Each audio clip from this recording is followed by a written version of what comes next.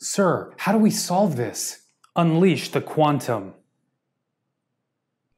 Hello world, it's Siraj. In quantum machine learning, it sounds like the final class in a PhD program, doesn't it?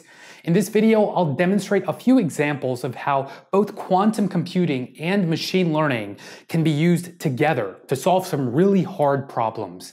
But before we go there, we need to get more familiarized with the field of quantum mechanics. This is the collection of scientific laws that describe the behavior of subatomic particles, an endlessly fascinating subject that's been notoriously difficult to master and somewhat controversial, even for physicists. It all started in the 17th century when scientists were trying to figure out the properties of light and rocking crazy facial hair. At first, Isaac Newton thought that light only consisted of tiny particles. Christian Huygens thought it was made up of waves, but Newton became puzzled by the wave-like phenomena of light interference. Interference is when two waves superpose to form a resulting wave of greater, lower, or the same amplitude.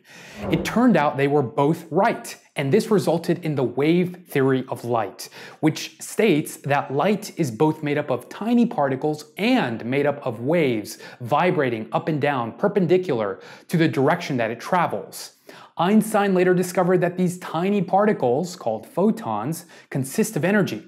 Inspired by this, Niels Bohr came up with a new model for an atom, the basic unit of all matter in the universe. His model stated that an atom contains a small, positively charged nucleus surrounded by electrons that travel in circular orbits around each other, like a solar system. Each orbit has its own energy level and changes to that energy, like the transition of an electron from one orbit to another around the nucleus of an atom, happens in discrete quanta. The phrase quantum leap refers to the movement from one discrete energy level to another, with no transition, it's abrupt.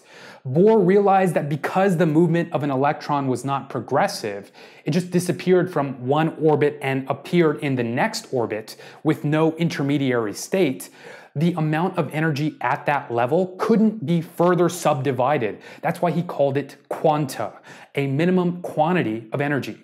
Clearly, scientists were beginning to figure out that the rules of classical mechanics did not apply at the subatomic level. But it gets even more interesting. Simulation confirmed? Consider the question, why doesn't an electron have an intermediate state? Physicist Louis de Broglie answered that question when he explained that matter can exhibit both particle and wave-like nature, just like light. This wave-like nature of electrons requires them to obtain certain wavelengths, which are allowed for them to fit in an orbit. And within that orbit, electrons can exist throughout, not just in a single spot, because of its wave-like nature. Other physicists were paying attention to this and contributed more discoveries. Heisenberg, not the Breaking Bad one, for example, later proposed his uncertainty principle, which stated that the position and velocity of a particle cannot both be measured exactly at the same time, even in theory. He later helped develop the Copenhagen interpretation of quantum mechanics, which stated that a quantum particle doesn't exist in one state or another. Instead, it's in all of its possible states simultaneously. It's only when we observe this state that a quantum particle is forced to choose one probability, and that's the state we observe. That's right, it's stating that reality exists in a certain way until we measure it. It's reactive to conscious observation. Pretty incredible stuff. This state, by the way, of existing in all possible states simultaneously is called superposition. The Copenhagen interpretation of quantum mechanics was theoretically proven by a famous thought experiment called Schrodinger's cat.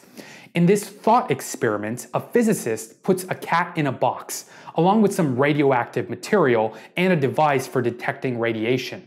The device is designed so that when it senses the decay of the material, it triggers a hammer which will break a flask containing acid, which will kill the cat.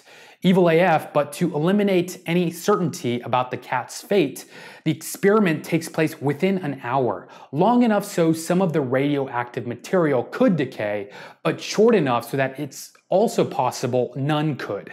While the cat is sealed in the box, it comes to exist in an unknowable state. It can't be observed, so it instead exists in a superimposed state of both life and death.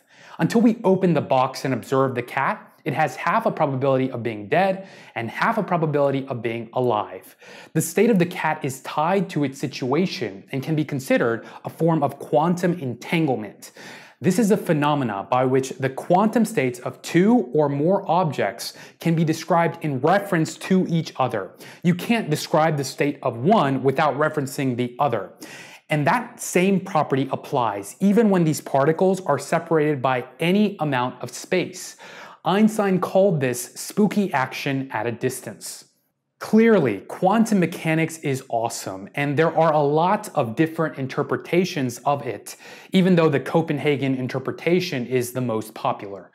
TLDR, the laws of nature at the subatomic level are different than at any other level. So how can we leverage this to possibly solve some hard problems? About 40 years ago, the popular physicist Richard Feynman proposed that in order to be able to simulate physics on a machine properly, that includes the laws of both classical and quantum mechanics, we'd need to create a kind of quantum computer. Classical computers, the ones we all use, perform operations using classical bits, which are represented as binary data, either a 0 or a 1. But what if we could have a bit represent both 1 and 0 at the same time? What happens then? Well, quantum mechanics tells us that this kind of superposition of both states is indeed possible at the subatomic level. The basic unit of a quantum computer is called a qubit. These qubits can be physically represented by quantum particles that can occupy two states simultaneously. We could use a photon or an electron, and rather than having these qubits interact how classical bits do, we can leverage the idea of quantum entanglement to allow these qubits to interact with each other in all new interesting ways. Nowadays, big technology companies like IBM, Google, and Microsoft, as well as well funded startups like Rigetti Computing, are all racing to build these exotic machines to see how we can use the quantum concepts of superposition and entanglement to both speed up existing algorithms and create entirely new classes of algorithms. This involves a lot of computer science theory across a lot of different subfields, but let's specifically talk about its effect on machine learning. Firstly, quantum devices can be used to accelerate machine learning.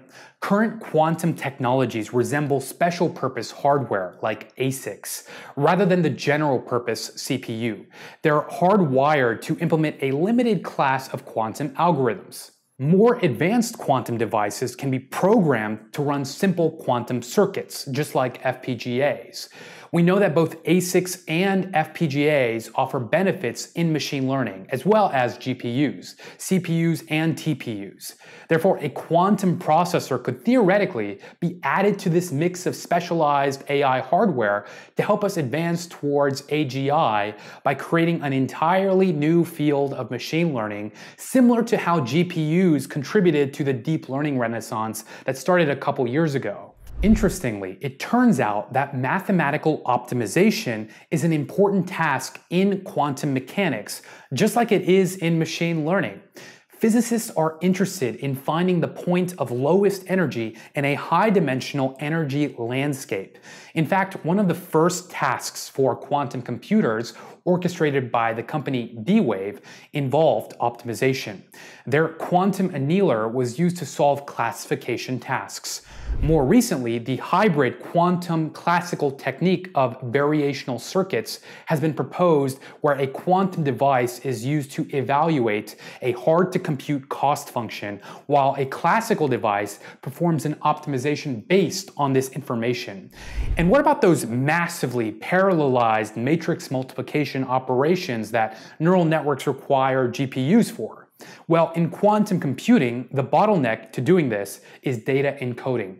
In order to use them for linear algebra, we have to first load the large matrix onto the quantum device, which is non-trivial. But a quantum gate does execute a multiplication of an exponentially large matrix with a similarly large vector. We could even think of a quantum gate as a linear layer of a giant neural net, an exciting insight that could lead to novel neural architectures. There's also the idea of sampling. We can think of quantum computers as samplers that prepare a class of distributions called quantum states and sample from them with measurements.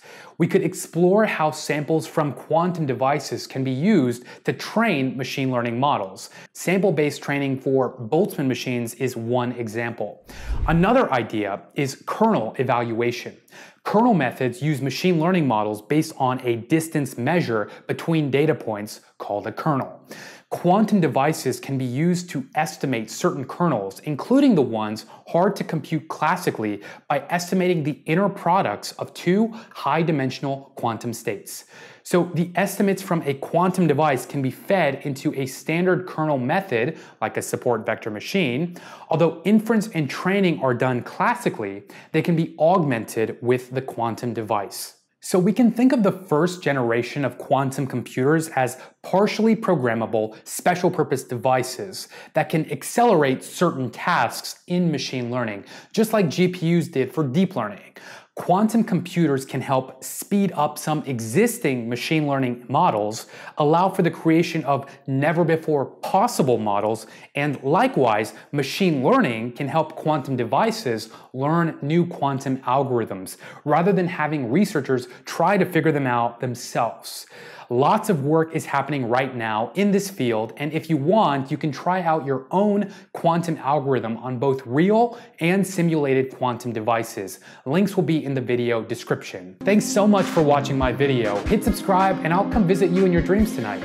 For now, I've got to get disentangled, so thanks for watching.